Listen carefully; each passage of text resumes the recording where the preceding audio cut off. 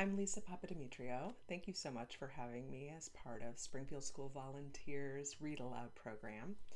Today I'm going to share with you a part of a book that I wrote called A Tale of Highly Unusual Magic.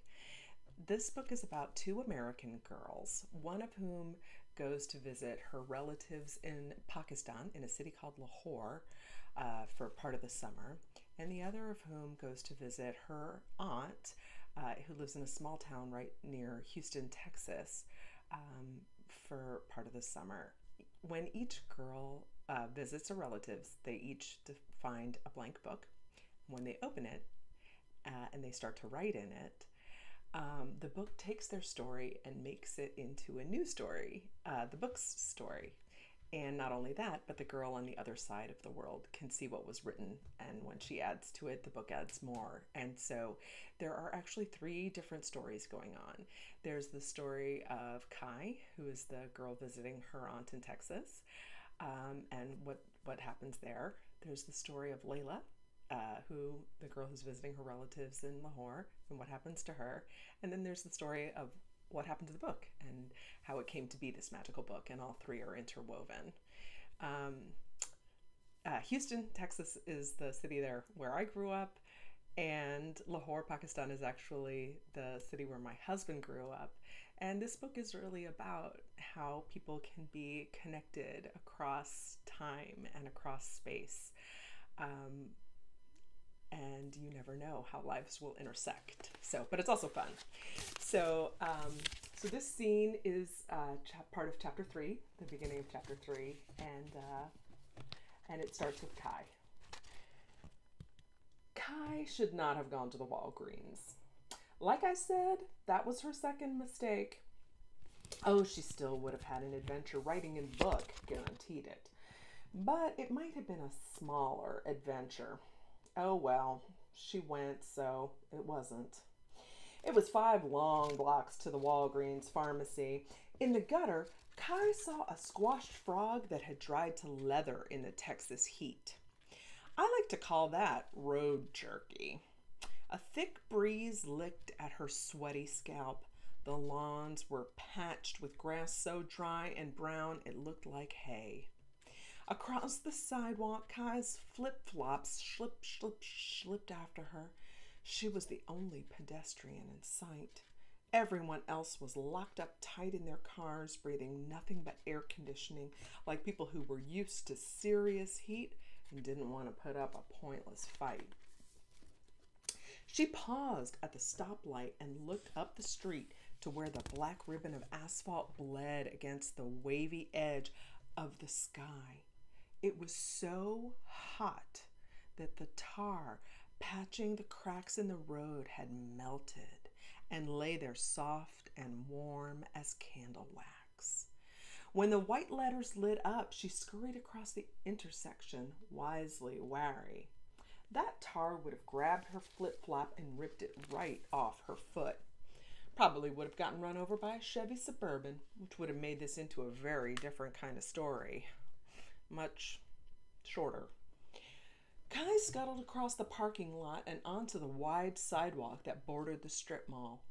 There it was, the Walgreens, the air conditioned home of Dr. Pepper and Cheetos. Heaven for the kind of girl who was never let out of the house by herself, which, let me tell you, is the kind of girl she was. She even considered buying two bags of Cheetos. That's how big a deal this adventure was to Kai. Two newspaper boxes stood sentry outside the double glass doors, a dog leash looped loose and limp around one. At the bottom, panting in the shadow of the strip mall's roof, lay an exhausted looking brown and white chihuahua his tiny tongue rolled from the side of his mouth, and his tan ribs rose and fell in quick time. Hey, cutie, Kai said, stooping to doggy level. You shouldn't pet strange dogs. Kai looked up. A girl with curly black hair and eight million freckles poked her head around the side of the stucco pillar. Didn't your mother ever teach you that? the girl asked. This chafed at Kai like a burlap backpack. First of all, her mother had told her that, but her mother never let her do anything. Second, this girl looked like one of the bunnies, those pretty girls at her school who always thought they knew everything, but really had brains like vacant parking lots. And third, this dog was tiny. He weighed about an ounce. How much damage could he do? Kai ignored the freckled girl and touched the tip of the dog's ear with a single finger.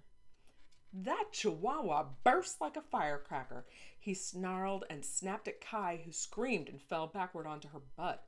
The dog barked like it was fighting off a shark attack, and a woman in a muumuu blasted out of the electronic door shouting, Taco! Taco! But Taco had already lurched to the end of his leash and clamped his jaws onto the hem of Kai's jeans. Get him off! Kai screamed. Taco! The woman shouted. Her giant blonde hair quivered with each screech. Taco! The freckle faced girl walked over and grabbed the dog by the scruff of the neck. She gave him a good shake until he let it go. Then she handed him to the woman with the giant hair who said, Oh, Taco, you naughty baby, and nuzzled him adoringly. She turned to Kai and shouted, What are you pestering my dog for? Why did you leave your dangerous dog unattended? The freckled girl demanded. Taco needs a muzzle. My dad's a lawyer. You'll be lucky if we don't sue. I'll bet Taco's done this before, hasn't he? The woman with the giant hair huffed and walked off, cooing to Taco as he licked her neck. Kai stood up and silently watched the woman stuff herself into a small Honda. The dog rode shotgun. Then she turned to face the girl with the freckles. I'm Doodle, the girl said, and you're welcome. Kai, who had been just about to say thank you, was irritated again. Bunnies always had cutesy nicknames, and this one was no exception. Why Doodle? Are you an artist or something? She demanded. I was born on the 4th of July. Kai frowned. Does that explain something? Doodle started humming Yankee Doodle Dandy. Kai had never heard anyone hum in a way that made it sound like duh, uh, uh, uh, uh, uh, duh, duh. Oh, Kai said, feeling even more irritated and stupid than before.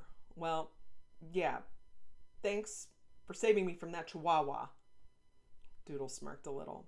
She had a twitchy little mouth, and her smirks were rather comical. Everyone thought so, not just me. What's so funny? Do you think they have a card for that? In the drugstore. Thank you for saving me from that chihuahua with like a rose on it, everything written out in gold letters, all scripty, and a poem inside. yeah, they probably sell a lot of them. At this location, anyway, Kai said. Well, I'll see you around. She turned toward the doors. The electronic eye sensed her movement and opened for her, blasting her with cold air. Hey, Doodle called after her, what's your name? For a second, Kai was tempted to pretend that she hadn't heard. Her mother always said she should never tell strangers her name. Then again, she thought she'd probably never see this girl again anyway, so who cared? Kai, she called a moment before the doors closed behind her.